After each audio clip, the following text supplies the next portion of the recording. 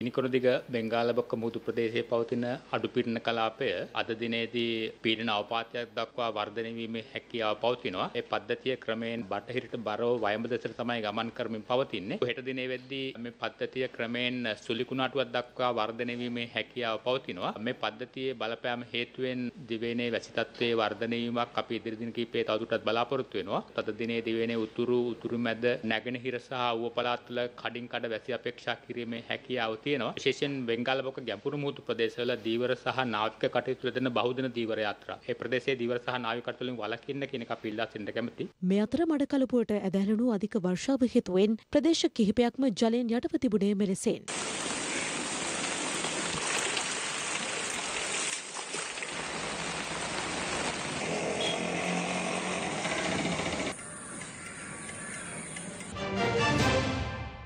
දෙනපතා අලුත් වීඩියෝ සහ ප්‍රවෘත්ති නැරඹීමට ඉහත බටන එක කලික් කර සියත TV සබස්ක්‍රයිබ් කරන්න.